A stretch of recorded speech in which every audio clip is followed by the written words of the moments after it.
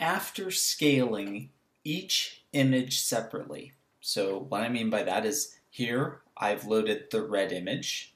So I've checked, I've used the fits header to check that this is the red image. Yes, this was the red filter.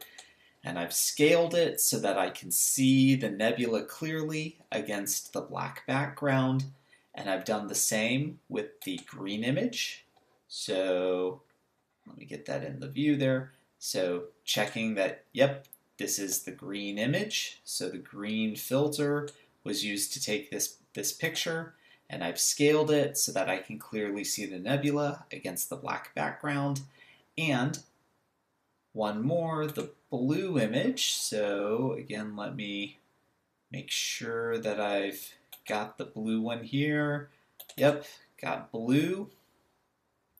So I've scaled each image separately.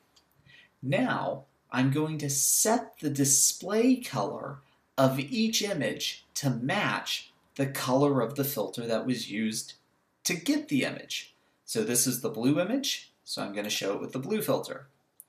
I'm going to go to the green image, and I'm going to show it using the green filter, and the red image, and I will show it using the red filter.